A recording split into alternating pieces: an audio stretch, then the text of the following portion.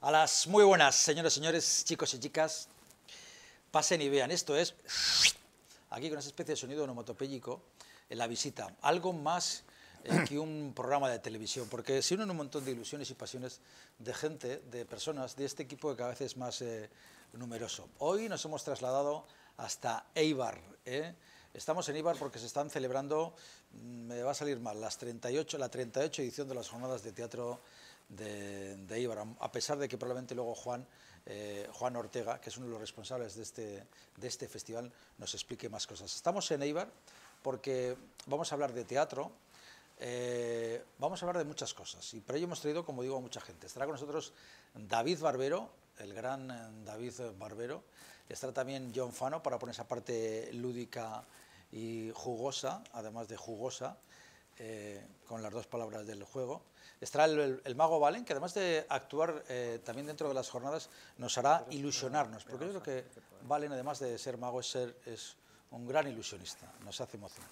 Y ya tengo sentado aquí a mi vera en una de las salas eh, dentro de este teatro. Estamos en el Teatro Coliseo de Eibar, la Villa Armera. Eh, tengo sentado aquí a mi vera a don Miguel del Arco y de Segundo Herrera, Herrera. para servirle. Sea usted bienvenido a la visita a estas... Eh, ¿Qué ha estado más tiempo? ¿Sentado en butacas o encima del escenario? Sentado en butacas sin lugar a duda. Soy buen espectador. Digo, estaba repasando un poco la trayectoria mm, de Miguel del Arco. No me queda claro a qué te dedicas. Yo tampoco. Si eres dramaturgo, si eres guionista, eh, si eres director de escena, si eres actor, ¿qué, qué eres? Eh, según mi madre, el que se mete en todos los charcos. Eh, eh, todo, sí, todo eso. Empecé por unas cosas, luego sigo. Yo creo que va, me, me voy, no sé si escapando de las etiquetas o intentando definirme. Eh, empecé como bailarín, de hecho, Sí, sí. además. Y bueno, pues eh, luego lle- llegó. Y yo creo canto, que siempre, y canto, canto. sí, en la escuela de, de- de canto de Madrid. eh, yo creo que son, han ido siendo disciplinas que me han ido llevando hacia aquí, porque yo creo que en la dirección he encontrado mi lugar. A mí una de las palabras que más me gusta es la palabra mientras. Disfrutar de las cosas mientras las haces y Ah. que el fin no te condicione. Y por muchas veces en una especie de búsqueda uno pasa por todo ese tipo de, de vericuetos de dramaturgia y guionista y yo creo que además bien has dicho, ¿no? Quizás aquí estás, eh, o estamos aquí en Eibar y en las jornadas de teatro Eibar, inauguraste la semana pasada, hace unos días, dando esa charla inaugural, ese pregón, eh, hablando precisamente, pero quizás lo que te está dando prestigio es ser director de teatro. Eh, digamos que ahí he, he sido afortunado. reconocimiento, Sí, además. he sido afortunado en las cosas que desde el 2009, que fue cuando empezamos con la función por hacer, que fue supuso un, pues un antes y un después, en Después, mi carrera, sin lugar a duda. eh, y, y ha ayudado pues, a, a no hacer las cosas por si acaso, por si acaso me llaman, por si acaso esto sale, por si acaso... Arriesgando ya. Entonces, es- eh, me ha puesto en un, lugar donde yo puedo decidir eh, cómo, dónde y por qué, y eso es eh, para mí absolutamente maravilloso, que es la independencia. Bueno, ya hemos dejado, es que a veces al auténtico hombre de negro, que es la persona que se encarga de mover toda esta parte técnica, le preocupa el scroll. El scroll es esa especie de palabrita que ponemos. Javier Calle pues pone presentador y sin más. Y Miguel Arco ya habrá puesto director teatral. Pues porque claro, tanta historia de, de- de una cosa y de otra. eh, Oye, eh, es curioso porque te inicias en, en papeles menores y así pone parte de tu biografía. ¿Qué son, esos de. ¿Qué son esos de papeles menores? Eh, dice, decía, no sé quién dijo alguna vez que no hay... Alguien dijo, que ya dice, está. alguien dijo que no hay personajes pequeños, Pequeños. sino actores pequeños, ¿no? Eh, yo estoy completamente de acuerdo. Eh, las funciones hay, o las películas, si, si solamente brilla el protagonista, que es lo que tiene el papel largo, lo demás no funciona. Claro, es decir, que me inicié, me inicié con lo que había. Ya. O sea, que con lo que me ofrecían. Cuando me- allí, había, yo tenía bastante facilidad para decir que no, ¿eh? O sea, que ahí... Pues mucha gente lo porque- sabe. y esto es una cosa que me pasaba como actor, yo creo que por eso te- te- me, me hice director, porque tenía bastante o demasiado pudor. Me, hay cosas que me, dan, que me daban un poquito de vergoncita y de repente pues decía que no. En este oficio más que en otros hay que es más importante saber decir que no que decir que sí. Bueno, decir que no siempre es complicado, sobre todo en esta profesión, que siempre trabajamos en precario y siempre tan estás volátil, buscando, tan- es tan volátil y de repente pues además acabas un- un- una, una función o un personaje, entonces es, nunca más me volverán a llamar en la vida, ¿no? Entonces, cuando te llaman es difícil decir que no, ¿no? Eh, pero bueno, yo creo que hay que aprenderlo. ¿Cómo se llama tu? Ahora ¿Te has hecho antes mención a ella? María Luisa. María Luisa.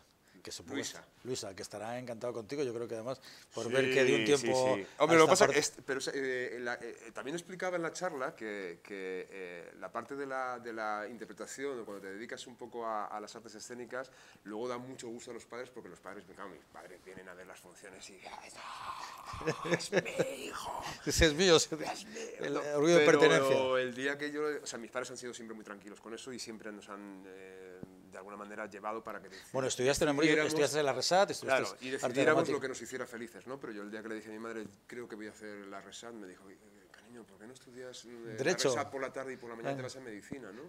Y dije, mamá, que no, que lo que quiero hacer es esto, ¿no? Pero siempre han estado ahí, o sea, que de- sí, sí, eh, se lo pasan en grande. Yo cuando me toca entrevistar pues, probablemente a muchos músicos, o ocurre más con el tema de los músicos, ¿no? que es curioso que desde muy pequeño empezó a tocar la guitarra con siete años.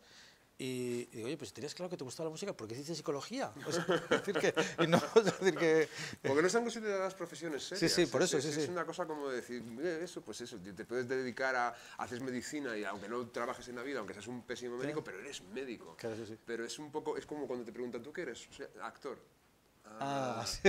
¿Y dónde sale? Sí, sí. No, pues hago papeles, de, sobre todo en teatro. Ah, buah, ¿sabes? Como Es que además cuando eres a veces actor, parece que o eres de primera división, Claro, digamos, de los, sí, sí, de los mediáticos, cosa, ¿no? o, Claro. no puede, o cuando eres periodista, o vas a Madrid a triunfar, Claro. o los que estamos en provincia parece que no. Parece que no hay, ¿no? O sea, como lo- el tipo, el Sí, sí. redactor. Y como si no hubiera periodistas como en- no hubiera, o sea, como si eso no fuera casi lo fundamental para que que se, se sostener de alguna manera el periodismo, ¿no? Oye, me has dicho el 2009, pero yo pensaba que una fecha importante para ti fue el 2002. Y te digo porque es cuando crea, se crea Kamikaze. No tengo dudas, y le preguntas a Juan Ortega, eh, ¿Aitor es de Bilbao? No, hay torres de Vitoria. Ah, de Vitoria. Decía yo, de Bilbao no me... O sea, por eso digo, ¿el año 2002 no fue un año importante? Sí, lo que pasa que, eh, ah, bueno, ahí fue cuando empezamos un poco la andadura, ¿no? O sea, que es un poco, Aitor y yo, de hecho, además, los dos venimos de... Aitor Tejada. De, de- de Aitor Tejada, es- es- veníamos del campo de la actuación los dos. Por eso entonces estábamos escribiendo mucho para televisión como guionistas, en muchas series.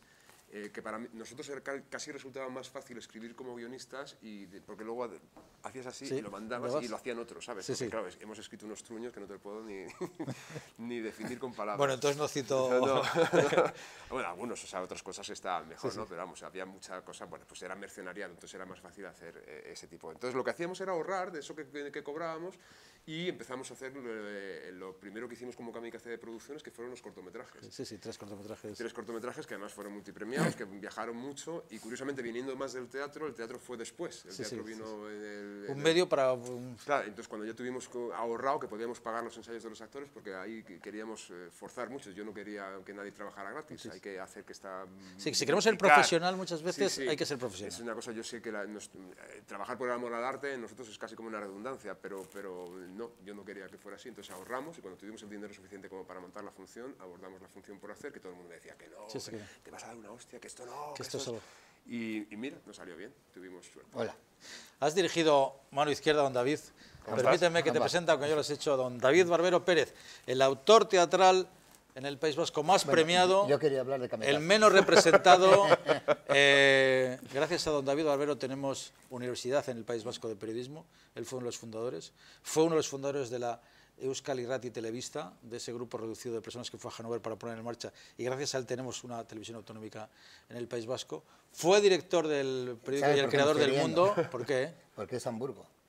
¿En Hamburgo? Yo digo en Hannover siempre. Es que yo estuve mucho tiempo, yo tuve una novia alemana, ¿te acuerdas? Y, y yo pasaba mucho tiempo en Hannover, entonces yo no sé si por qué sería por eso. Hannover, Hamburgo. Era Hamburgo, están al lado. son, eh, y en medio Bremen, te digo, para, que, para que lo sepas. Don David Barbero, Kamikaze. Yo había puesto aquí, no se ve bien, eh, Kamikaze Miguel Ríos. A ver si alguno de los dos me sabe decir por qué.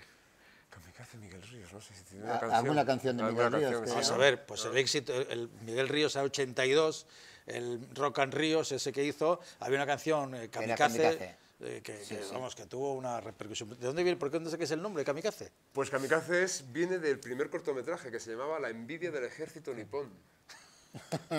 Y de ahí eh, eh, estábamos, claro, eso era muy largo, entonces, pero... eh, kamikazes, y además, sobre todo, además, por cómo hicimos ese corto, porque era nuestro primer corto y duraba 28 minutos. o sea que no se puede Eso ya era un mediometraje ya, claro, o sea, se puede sí, ser sí. más kamikaze, o sea que sí. Bueno, a mí me gustaría eh, hablar de Kamikaze en tres, en tres actos. Y para empezar, eh, no desde el principio, pues empezamos ya con la función por hacer. Y, y me ha parecido curioso lo que estabas, lo que estabas diciendo de eh, el propósito, reúnes a los actores y les dices, tenemos dinero por lo menos para pagar a lo- los, ensayos, Los ensayos. y después ya se verá. Y con ese, y con ese espíritu comenzáis. Sí. Eh, con, esa, con esa entrega también de los... Bueno, ellos confiaban en el... Era un verano, eh, les- los tuve que convencer para que no se ¿Cómo- fueran de vacaciones. La, la calle de San Roque es donde San Roque, donde San está, Roque. donde está el, el local de ensayos de, de Cristóbal. Y entonces la- el, el lema era, eh, vamos a montar esto, lo, lo mostramos aquí y si no pasa nada, y si no vamos a ningún sitio, pues nos tomamos unas cañas. Que esa era un poco la, Mm. la- la filosofía. Hicimos además, no te- ni siquiera teníamos un, un teatro, o sea, no íbamos a estrenar. Hicimos las tres primeras representaciones que se hicieron de la función por hacer fueron en el mismo. propio eh, local de ensayos. Y allí lo, lo- lo hicimos y ya esas tres funciones que se hicieron, que eran, era pleno, eh, pleno verano, fueron como mm, bastante conmoción. O sea, la gente salía así como, y digo, coño, que a, lo mejor hemos hecho alguna cosa que está bien, ¿sabes? O sea, que yo tenía la sensación, pero otra cosa es Mm. Sí, con- sí, contrastarlo Pero con el realmente, a, a mi juicio, que he seguido vuestra trayectoria, yo creo que ahí sí que ya está no solamente el embrión, está más, es decir, es la manera de trabajar, la manera de hacer el teatro, la manera de, ¿no? Pero había un punto de inconsciencia que está muy bien, porque ese punto de inconsciencia es, sabía, es eh. de- sobre todo porque se produce, tú puedes tener, yo siempre intento llamar a los mejores actores posibles para que hagan mis funciones, pero luego tienes que tener un componente de suerte que esta gente que trabaja junta tenga química. Y allí era una cosa curiosa. Yo me acuerdo de, las, de, los, de los trayectos con Aitor Tejada cuando nos íbamos para, de- después de, la- de la- de los ensayos, que íbamos caminando por la calle Preciados, cruzando la Gran Vía y demás. Y yo decía, tío, ¿qué está pasando esto? Es, es una cosa... parece que llevan toda la vida trabajando juntos, ¿sabes? Claro, porque tú los, ele- los elegiste. Claro, yo los elegí, pero ahí había Sí, algunos sí. que eran amigos míos, o sea, Israel Elejalde es como un hermano mío, o sea, nos conocemos hace muchísimo tiempo, pero yo no conocía de nada a Bárbara Lenin, ni a Raúl Prieto, ni a Manuela Paso, ni a Cristóbal, o sea, a Cristóbal un poco más, pero que no éramos un, un grupo que de repente llevábamos, no, se habían juntado esas tres semanas, tres semanas y pico, que fueron lo que lo duraron los ensayos, y se montó. Y entonces, ese componente de suerte también es importante, que encuentres pues, en el tiempo y en el espacio gente con la que te mola trabajar, con la que te sientes seguro, con la que todo fluye, y de repente pues sale un espectáculo. Bueno, saltamos. Y vamos ya hasta, hasta el misántropo. eh, y, y estáis casi, casi los, Los mismos. seis. Sí, ah, bueno, a, a- Ibar eh, no viene Bárbara porque le acaban sí, de dar el Goya y lo está todo- todavía está llevándolo a su casa. Eh, Pero- pero bueno, es- es está- una- es- pero Sí, Bá- sí. Bárbara lo estrenó, o sea que estaban los mismos seis actores que, que estaban en la función por hacer, más José Luis Martínez que se ha unido, porque éramos, ahora aquí somos siete, o sea, son siete actores, pero está el mismo núcleo que también estaba en veraneante. Sí, sí.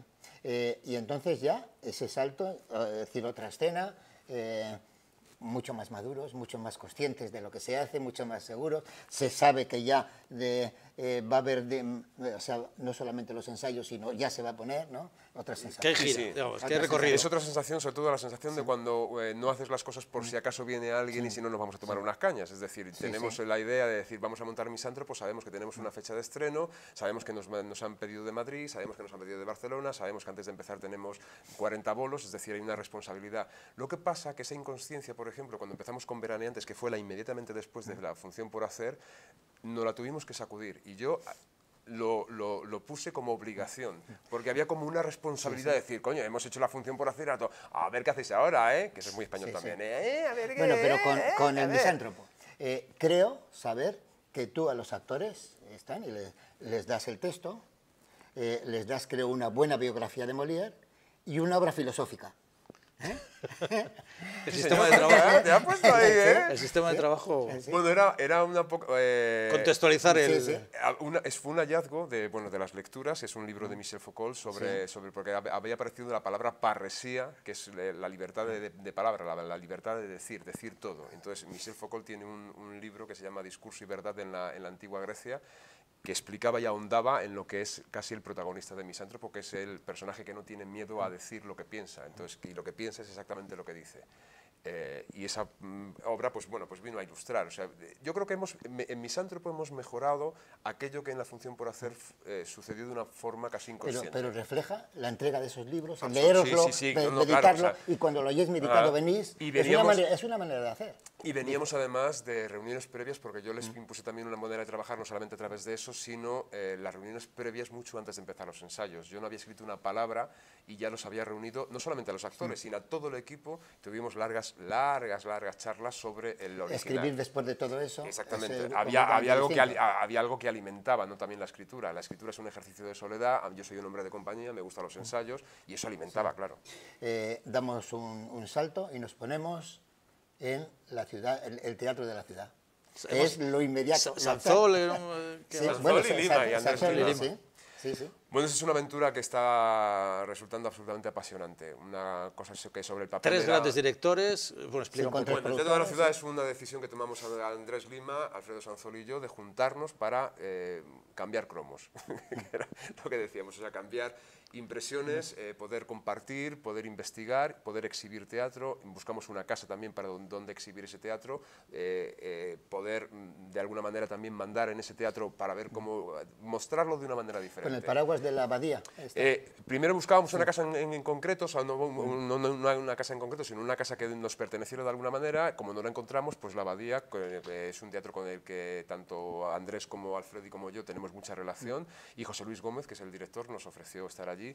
Y venimos haciendo talleres de investigación desde junio pasado y dará lugar que a partir de la semana que viene empiezo ensayos ya de Antígona. de Antígona, Andrés va a montar Medea y Alfredo va a montar Edipo Rey. Y las tres comparten el mismo espacio escénico, cada una con sus consideraciones, las tres comparten. Pero es un proyecto mm, muy interesante. Ajá. y, y con mucha gente por detrás, o sea, con muchos actores que se, que- que se han prestado, o sea, que están, ¿no? En Los actores que se han prestado y, los, y ha venido gente de la, de la universidad, que es una cosa que yo levanté el teléfono un poquito como arrugado y de repente pues hemos tenido allí gente como Carlos García Gual, como Bernardo Subirón, eh, que, a- Andrés Pociña, gente que es- viene del campo de la filología y helenistas que han venido con Perdonadme que os interrumpa una cosa, aparte que sé que te tienes que ir, porque Sí, está sí, haciendo sí. que te vayas, pero Sí, antes de que te vayas, no, sí, pero ya. antes de que te vayas quiero decir una cosa. A veces me da cuando os escucho hablar y lo hago con mucha atención, David, entre otras cosas de los que fue fue el fundador de una tertulia excepcional a la que yo tengo la suerte de poder acudir, que es la tertulia Escena Siglo XXI, donde gran parte del mundo del No te lo teatro creerás. Llevamos siete, ocho años, nueve Diez, años. diez años. años. Diez años. Todos los últimos Lunes lunes, de de, mes. mes. nos reunimos.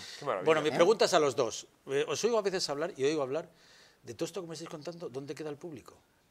No, el público es el a mi juicio, el público es el destinatario de todo. Es el, para él se hace todo lo, todo lo que has contado. Lo que pasa es que el público, yo siempre, yo siempre me pongo, o sea, que eh, yo intento no pensar mucho en el público. Digo, porque es estamos sentados en una parte, butaca. claro, sí, sí, sí, como una, pero exactamente, yo siempre es donde me pongo, como cuando intento dirigir. Como sí- espectador. como espectador. Es decir, hay algo que si yo lo que estoy haciendo no me emociona, no me conmueve, es difícil que intente conmover a Eh, nadie. doy el paso. Sea usted, siempre es un placer, don Muy David. bien.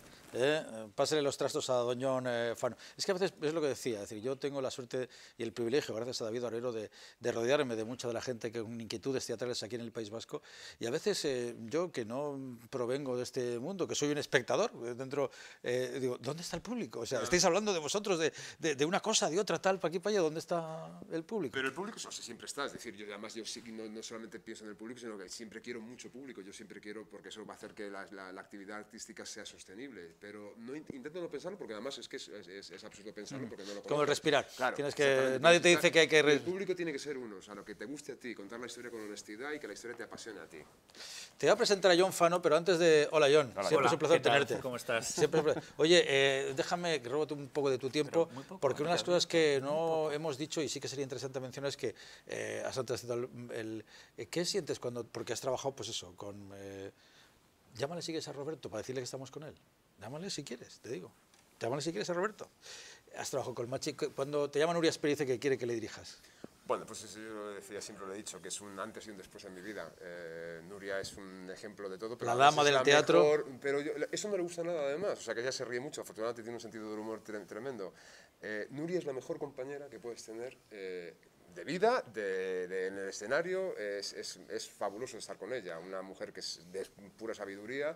Eh, ritmo, mm, humor, eh, bueno, eh, estoy, yo soy un gran afortunado pues, de la gente que me rodea. De ratones y hombres. Estamos Estará, está- llamando. no, estará, Ah, ya, hoy es- hoy estará en el no es un teatro. día, no, no. Yo creo que a estas horas estará en el teatro. O sea, Pero bueno. Déjale si quieres mensaje y estará en el teatro. Yo creo que a estas horas. ¿O no? Bueno, háblale tú si quieres. Robert. Hello. Somebody there. Yo creo que estará en el teatro. Yo creo que estará en el teatro. No se ha cortado. Bueno, estamos Sí, llamando. no, esto evidentemente parece ser que era un contestador. Robert.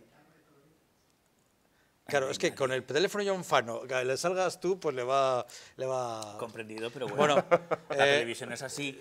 Estas flores para ti, ¿las hubieras preferido en amarillo o me hubieras dicho en amarillo? Uy, casi que te las llevas. Yo no soy supersticioso, pero no paso por debajo de las escaleras por si acaso. Eh, y de amarillo siempre me acuerdo de Luis Pascual porque yo tengo unas botas amarillas y me echó el otro día una bronca por ir al a- que ni siquiera era el estreno. O sea, subí a Barcelona a ver a Nuria Esper y voy con mis botas amarillas Como espectador. como espectador y estuve a punto de apalearme. Dijo, pero ¿cómo se te ocurre venir con unas botas amarillas a ver mi función? Digo, pues si ya has estrenado, coño. No puede ser. Y además hoy no han aplaudido esto y ha sido por tus botas amarillas. No, con, con humor, ¿eh? Comprendido. Pero vamos, no, no, está. Así que bueno, mejor que no sean amarillas. ¿sabes? Bueno, es Si una, hemos una planta, nos ¿o gusta agarrar elementos vivos para que eh, la puedas eh, trasplantar donde tú consideres y, Gracias, y muchas desees. gracias. Y cuando la riegues te acuerdas de nosotros. Sí, señor. Y si no mm, crece bien es que no las cuida como debido, yo te advierto. Hazle tu capa ensayo. A ver, ¿qué nos traes, Mr. Flequillos? Raíces y puntas que dice así, la raíz de la palabra del día de hoy son las tres primeras de la segunda parte de tu apellido, o sea, sé.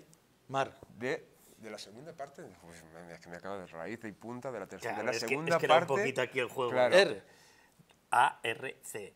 A, La segunda R. parte de tu apellido, como es un apellido Ah, arco, compuesto. del Ah, arco. Ah, RC. eso vale, es. o sea, tenemos que mirar palabras que empiecen por ARC. ARC, ARC. eso es. Y esto es más complicado porque tú imagínate, por ejemplo, es M-A-D, por poneros un ejemplo, ya sabes que, bueno, pues va a ir madera, madre, tal. Pero ARC. ARC, a lo que me ARC. refiero es a que luego puede haber una H, entonces Vale, los vale. sonidos sí. son distintos. Sí, o sea, que va a haber una H, arquitectura. A archi- veces, no, no tiene por qué. Suelo o roca constituido por agregados de silicatos de aluminio hidratados. Arqui, archi... Yo me rindo. Fatal. Arcilla. mucho fácil. O sea, poner a todo esto vuestros marcadores. No, que, que no. Sí, pero para que saber no, los puntos que pero que aquí- tiene, que vamos a ver, la tecnología ya, Vale, el auténtico hombre negro nos ha puesto, no tú no lo ves, pero tenemos aquí ya dos chirimbolitos, Ah, está sí. tu foto, la mía, Y con dos ceros, como vamos? dos ceros. Como soles. Franja longitudinal pavimentada o no, contigua a la calzada, no Arcén. destinada. Muy bien. Ahí. Uno. Conjunto ordenado de documentos. Archivo. Archi- Vale, vas cero. no- ya, ya, no, pero es que, claro, este, es que este sabe que, que, eh, eh, había que tener... Este te hemos Ah.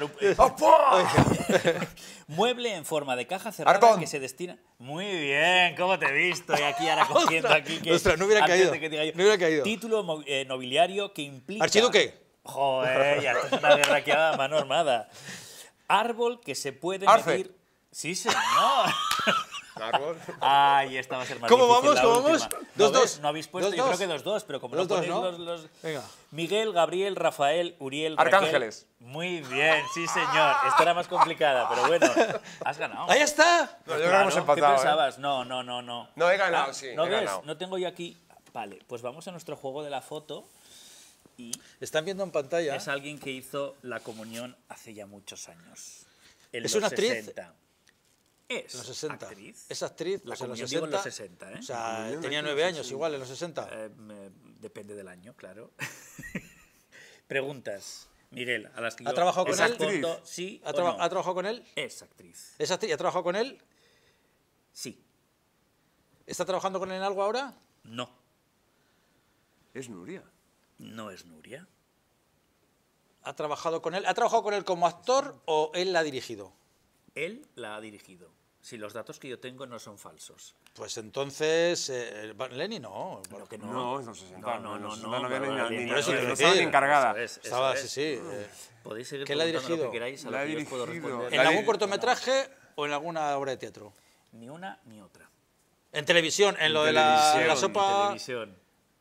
¿En la sopa boba? ¿En la sopa boba? En la sopa boba. En la sopa Lolita. Lolita. Ah. Efectivamente, pero a que no está tan reconocible. No, no, no, No, no, no, no. absoluto. Por eso he dicho voy a jugar un poco con ellos hoy, porque a veces sí. No, no. son tan fáciles de, de adivinar. No, no, no, cual- no hubiera caído. Ah, tampoco. No bueno, hubiera pues caído. esta eh, biografía Mira, fíjate. de Javier Menéndez Flores es una auténtica gozada.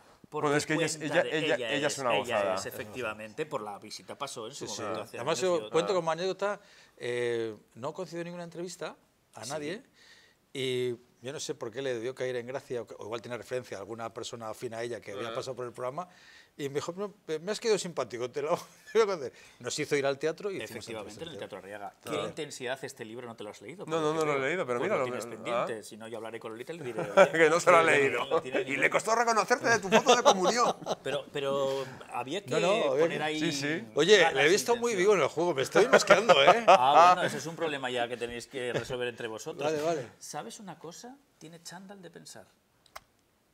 Y yo me pregunto, ¿de qué color es? Depende del día. Pero habitualmente, o el día que suele, el color que suele ganar. Sí, eh, no sé, sí, a los azules, que soy, yo soy muy de azules, sí.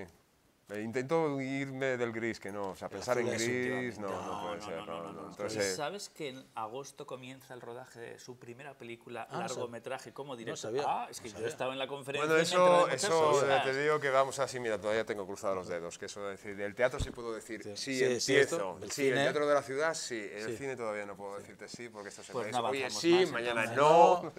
Él hizo EGB. Sí, sí. Y de hecho, además, en la conferencia hablaba de cuando. Generación EGB, ese eh, blog y ese página de Facebook que tienes en que tiene tantos seguidores. Y en este caso, yo he traído algo que en su momento se regalaba con la leche y los yogures RAM. Las preguntas RAM. Ram yo creo que no se bebía en Madrid. No, además Ah, es que pero- en mi pero- casa, pero en mi los casa somos spots- de yogurtera. Pero los spots existían, y no sé si acordáis aquello de Ram Cataplan, desde Ah. toda RAM, la que tomamos en casa. Aquel eslogan que a mí me parecía. Pero igual brutal. eso solo se veía aquí. Yo creo que en Que Madrid. no. No, no, Ram no, está, sí, Ram no, está no, bien, no, sí. Sí, claro. sí, sí. Vale, sí. vale, venga. Bueno, pues había preguntas de todo tipo, como los triviales habituales, Ah. pero yo os voy a formular las del último espacio, que son las más Culturales, teatrales, No, o- la- pues sí, las que tienen la televisión, el cine, el teatro. Bueno, dice así, y esta me la paso para el final, porque prefiero, la- las tenía ordenadas de esta forma. ¿Qué color tienen los zapatos de Don Pimpón? Atención. Pimpón el de A ti ya te pilló un poquito naranjas talludito. eh, rojos eran. Con... No, nada, fallo, rosa. Rosa. Fallo para los dos, ¿eh? Pimpón hay que decir que es el personaje que salía eh, por las tardes en, Eh, con- en Barrio Sésamo. efectivamente. Ah, Barrio Sésamo. es que no, no Ah, Chema. Chema, Chema era el panadero. panadero. Y a Sí, todo sí, esto sí. hay que decir que solo podían estar unos 3-5 minutos dentro del traje de espinete o sí, de... porque- Porque se moría, ¿no? Caían- fatal. Era como una especie de sauna, ¿no? Pero aún así todo, Vamos a probar. ellos insistían y Tengo a que veces tengo resarcirme de- Sí, sí. ¿Con qué se aclaró la voz el lobo de los siete cabritillos? Joder, no me acuerdo. Sí. ¿Con huevos? ¿Llamas de clara huevo? de huevo, Clara de ¿no? huevo. Clara de huevos. Tú has Sí. dicho huevos, pero aquí había que decir la Clara cosa concreta Vale, vale, y- vale. para que fuera correcta. ¿Cuántos pelos tiene Filemón en la cabeza? Tres. Dos. Dos. Dos. Cero, dos. Yo Que la pe- acierto. buenísima la película, por cierto. ¿eh? La la de. Buenísima la última película de ¿Qué profesión tenían los siete enanitos? Mineros. mineros. Sí, señor. Te ha ganado. Sí, Uno, sí. dos. ¿Qué color tienen las orejas de Pluto? negro. Negro. Dos, dos. sí, sí. Empate. ¿Quién es el amigo de Tom Shire? Hackle. eh, Huckleberry Fine. Huckleberry Fine. Finn. Sí, Finn, sí. Huckle- Tuya. Ya. ¿Qué muñeco es de orejilla del sordete? Orejía del Sorete, el de este, el de Maricruz y doña Maricruz. Rogelia. eh, No, Maricruz no. No, María está. Doña Rogelia. Doña Rogelia. Maricruz. María, o sea, no me acordaba. ¿Cómo era esta de Mari Carmen sus Mari muñecos? Carmen y sus Mari Carmen. muñecos. Yo he trabajado con ella. ¿De qué material es el zapato que perdió la Cenicienta? De cristal. Bien, aquí habéis empatado, llevas una de ventaja. ¿Dónde duerme Snoopy? En una La caseta de fuera, de la calle, la caseta. En el tejado. En el tejado de la En el caseta. tejado de la caseta, es Claro, sí, sí, sí, y sí. esta es la que decide si hay empate o vencedor. ¿Qué comida no le gusta a Mafalda? La, La sopa. sopa. Muy bien. John, que te vayas, que Que siempre me es voy, un placer. sé, un placer. Porque quiero ¿Te tener a... bien? Llévate, bien, bien, oye, alegro. llévate el... móvil Nada, y ya- dile a Robert que ya, ya le llamaremos. Perfecto, hombre. no te preocupes. Que os Oye, lo paséis bien el resto, que, muchas el que os queda. ¿Qué es eso, eh, eh, antes de que, preparando un poco esta conversación y hablando con, con Juan Ortega, que está luego con nosotros, ¿qué es eso de romper la cuarta pared? Pues eh, se supone que cuando estás en el escenario, eh, todo mm, eh, lo que sucede del escenario hacia afuera, que es el público, está una pared invisible que se supone que el actor no puede traspasar, porque ahí es donde está el, el- el público para crear la ilusión de lo que sucede allí, sucede eh, de forma íntima. ¿no? Y entonces romperla pues es tan fácil como pa- traspasarla para llegar a- a- al público de otra manera. Entonces en la función por hacer la rompíamos permanentemente, eran los eh, entraban y salían como bueno ya Dar volumen al- claro, sí. lo, lo hizo Pirandello en sus obras, pero lo hacía Woody Allen en, en la Rosa Sí, sí. del Cairo, o sea que sa- salían incluso de esa cuarta pared que es la pantalla, ¿no? que salían hacia afuera. Este buen hombre rompe cosas, cartas y cualquier tipo de elemento que se ponga en su mano. Sí, mucho la cuarta pared, porque si en magia algo hacemos es romper la cuarta Claro pared. Quizás sí. somos de las cosas que más interactuamos a veces con el público. ¿no? Valentín Moro, el gran vago, vago, siempre me sale la palabra vago. Bueno, vago Valen. Es que yo creo que es mejor definición incluso. ¿eh? Yo soy mago y vago, yo hago las dos Tamariz cosas. estaría encantado, ¿no? Yo suelo- sí, Juan es de la escuela también, y yo suelo decir que en todos los pueblos está el tonto, el pueblo y el alcalde, y cuando el pueblo es pequeño la misma persona ocupa los dos cargos. Por a mí me pasa lo mismo con el mago y el vago. Y a veces el médico Y también. el que hace- médico también, sí. digo porque Juan está, las ciencias médicas que le tocan. Mira, Javier suele decir que yo tengo una escuela de magia, claro, tú no conoces, que se llama Fábrica de Magos, que es la primera academia de magia que hay en Euskadi. Y aprendemos juegos tan simples como este. Fíjate qué cosa más curiosa.